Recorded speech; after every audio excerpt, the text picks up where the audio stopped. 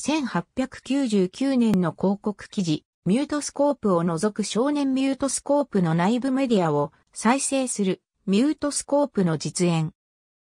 上映作品はメカニカルマニアックスミュートスコープは初期の映画の装置。発明者はウィリアム・ケール・ディクソンとハーマン・カスラー。1894年11月21日、カスラーが特許を取得した。トーマス・エジソンのキネトスコープ同様、スクリーンに投射するのではなく一度に一人の人間が覗き込む仕掛けだが、キネトスコープより安価でシンプル。販売はアメリカンミュートスコープカンパニー。たちまちコイン挿入型のピープショー市場を席巻した。原理はパラパラ漫画と同じ。丈夫で柔軟性のあるカードに白黒の画像を銀塩プリントする。カードは冊子状に束ねるのでなく、ローロデックスのように円形の芯に取り付ける。1リールおよそ850枚を1分間表示する。カードを装着した1リールの直径は約10インチ。カードの大きさは約2プラス3、4イン1プラス7、8イン。コイン挿入口にコインを投入すると起動。客はフードのついた単レンズを通してカードを見る。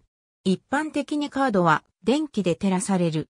一つの装置にリールは一つ、見れる映画は一本のみで、装置にそのポスターが掲示されている。客は限定的に速度を変更できる。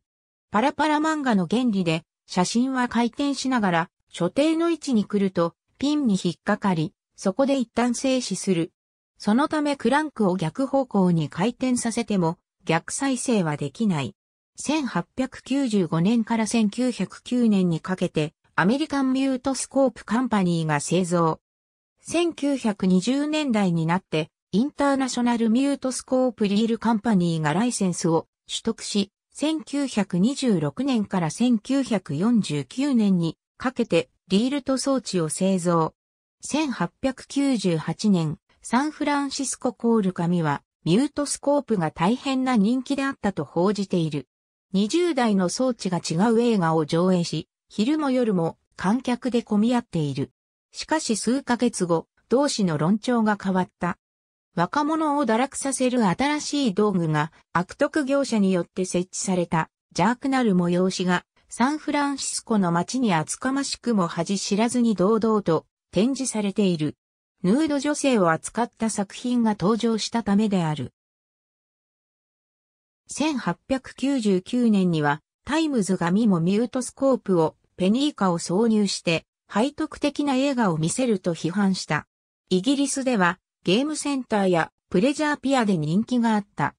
しかし1971年に十進貨幣制が導入されると、それに合わせた改良が困難で多くが破棄された。しかし、一部が、ポルノが合法化されたデンマークに輸出された。もちろん内容は、ヌード女性を売りにしたもので、際どいものから、ライトなソフトコアまで様々だが、タイトルほど内容は過激ではなかった。中でも有名だったのが、流行語にもなった、 What the Butler Saw で、ミュートスコープはイギリスでは、 What the Butler Saw Machines と言われるようになった。ありがとうございます。